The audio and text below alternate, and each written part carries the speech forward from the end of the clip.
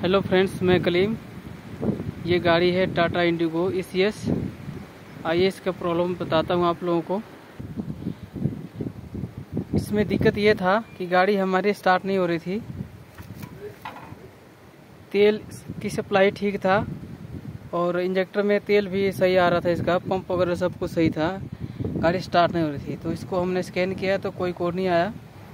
तो फ्रेंड्स इसका जो हमने चेक किया इंजेक्टर निकाल के तो इसका जो इंजेक्टर है, तीन इंजेक्टर बिल्कुल लॉक हो गए थे। इसको निकाला बाहर बाहर पाइप निकाल के और उसको कनेक्शन करके हमने जब चेक किया तो तीन स्प्रे नहीं कर रहा था, एक स्प्रे कर रहा था। तो हमने इसका इंजेक्टर पंप वाले से करा के लाया है और इसको हम फिट करके और देखते हैं हमारी गाड़ी स्टार्ट होती कि नहीं होती, बने रहे इस वीडियो में। ये जो इंजेक्टर है, ये डेल्फी का इंजेक्टर है।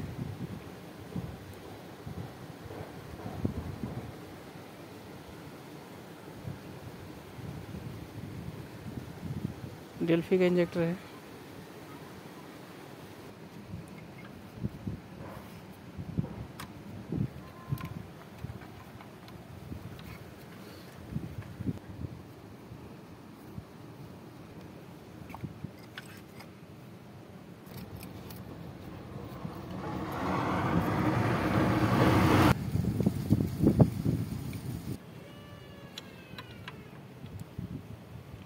ये जो इंजेक्टर के नट है सारे हम टाइट कर लेंगे पहले ब्लीड कर लेंगे। और जो इसका कपलर है ये कपलर निकाल देंगे पहले सेल्फ मार के ब्लीडिंग करके फिर लगाएँगे इस कपलर को। नहीं तो ये जो इंजेक्टर है लॉक हो जाते हैं।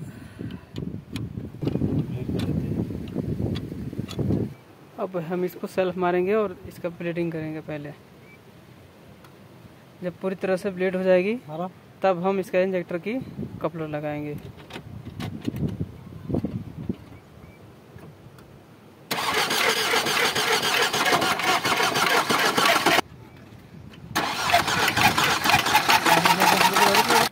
तो फ्रेंड्स हमने ब्रीडिंग कर ली है चारों की। अब हम इसका कपड़ा लगाएँगे और गाड़ी स्टार्ट करके देखेंगे।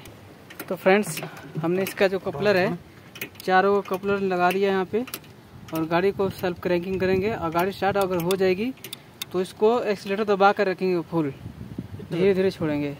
हीटर लगा दो।